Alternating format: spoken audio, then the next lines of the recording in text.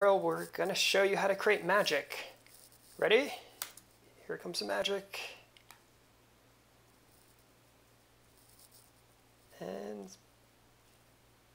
there's the magic. I know, so magical. So I'm going to show you how to uh, make that curve and hook it up to the visual editor to spell out the word magic.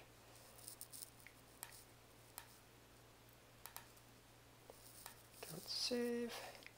All right, so you see in the background is a 2D sprite I'm using as a guide um, to so I can sketch out the path. I uh, just wrote that out myself and took a photograph of it and imported it as a texture.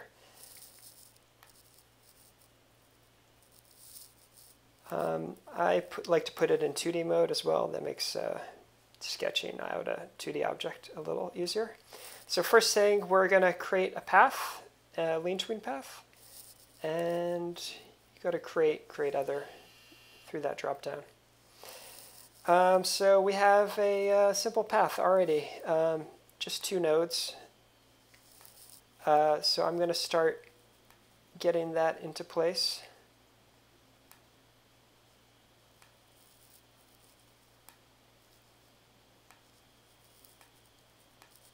Just move all those into place.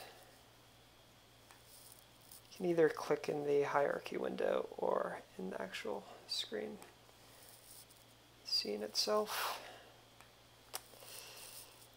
Um, so you see the blue points are the places it passed through and the white ones are the they affect how much the curvature is.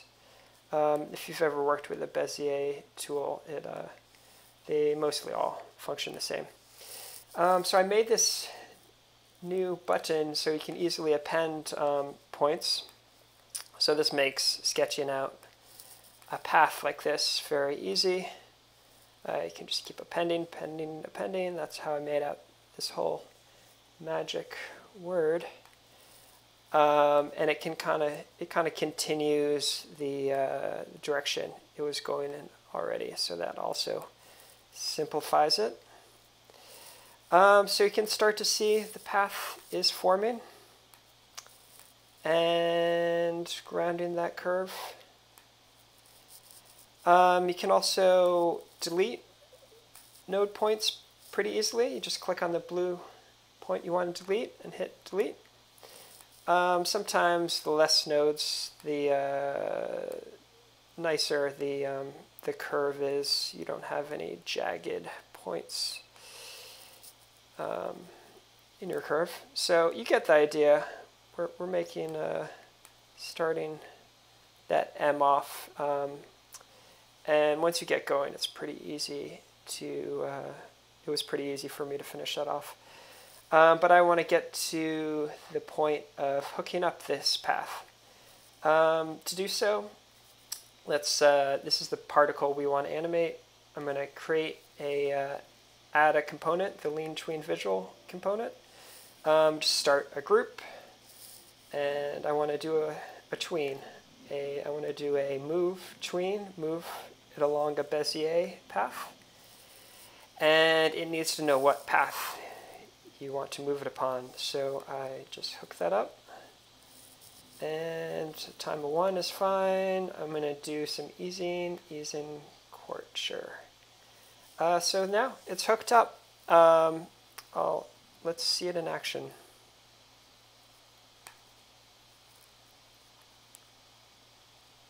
There it is.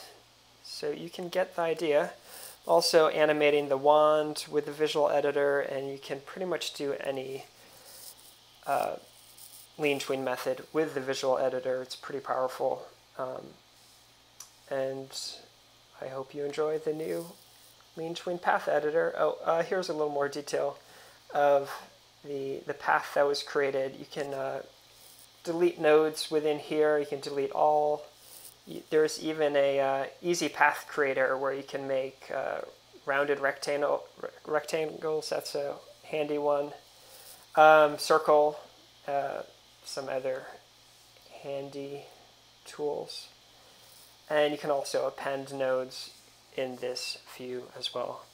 Um, you can also export this uh, created path if you want to um, hook up the path in that way. And uh, you can import a created path. You know, say you created it in an old project and you want to uh, uh, copy it into a, a, new scene but keep the, the same path. That's a handy way to do that. All right, so that is now really it for the uh, path editor. I hope you enjoyed the video.